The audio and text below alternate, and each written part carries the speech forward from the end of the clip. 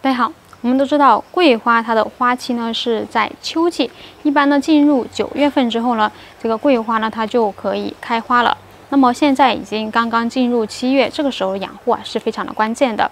这个时候的养护就关乎着你的这个桂花在秋季到底能不能顺利的开花和开花的多少，也是会有很大的影响的。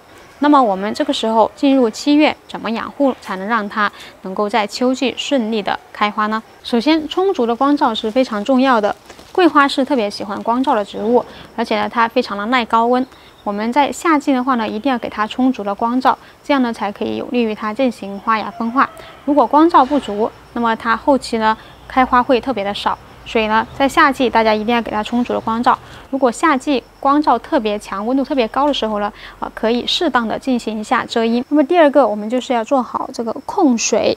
不管是什么植物，要想开花，我们都可以啊，利用这个控水促花的原理，让植物有危机感，这样呢，有利于它发芽分化，然后长出这个花蕾、花苞。那么我们夏季怎么浇水呢？这个时候浇水的话呢，我们最好就是采取干透浇透的原则，但是不能够完全干透，就是大概干到八九分的时候，我们再来给它浇透水。但是浇水一定要注意避开中午这个时间段。第三个呢，就是一定要合理的施肥。它要想花芽分化开花，那么就需要足够的营养来支撑。如果缺肥，就会影响它开花。但是我们这个时候用肥，大家一定要注意，不要过多的使用氮肥。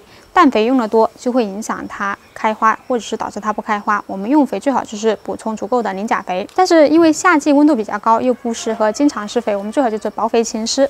可以呢，将磷酸氢钾稀释一千倍啊，大概十天到二十天左右，给它喷洒一次。等到它临近花期的时候呢，就可以适量的增加用量。当然，我们也可以和这种喜酸植物型有机营养液来交替使用。因为呢，这个桂花它是喜酸的，我们呢。只用这个喜酸植物型有机营养液呢，既可以补肥，也可以补酸。